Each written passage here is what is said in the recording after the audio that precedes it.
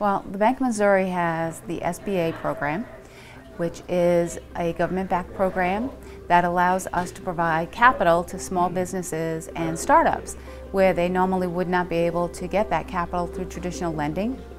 So we are able to provide those loans quickly uh, to our entrepreneurs and with that we are able to give them loans that have longer terms and lower rates um, and then they are able to start their businesses so that they can purchase their inventory, their working capital, buy their equipment.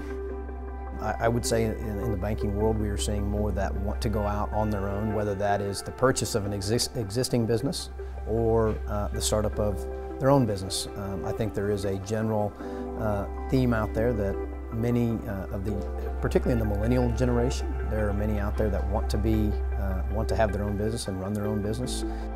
I meet business owners all the time who come to me and they have a great idea, but they think that they can do it themselves. They can run their business and they can do their accounting.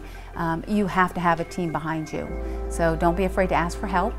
Um, that's one of the reasons you're coming to a bank, because you need help with your financing. You also need help with your infrastructure. Get a good team behind you that you can, um, that you can go to. For entrepreneurs, the, the startup of their business is an American dream, if you will, and it's much like that of many uh, first-time home buyers. And so uh, to see the excitement and, and the, uh, the energy that these folks bring into uh, the startup of their business, it's obviously a passion of theirs, and it's so uh, it's so energizing to see that. And so when I when you when you finally get to see that come to fruition and and and the loan closes and the business takes off, it's it's just it's amazing to see. And and of course, small business drives uh, drives our economy. And so, um, as a bank, we, we, we really um, we really want to see those small businesses su successful in our communities. Um, at the Bank Missouri, we um, are a business bank, and so we're networking with our clients. So it's not once the loan is closed, that's it, we're done. We take our clients and we start introducing them to other businesses that may benefit from their services or that they may benefit.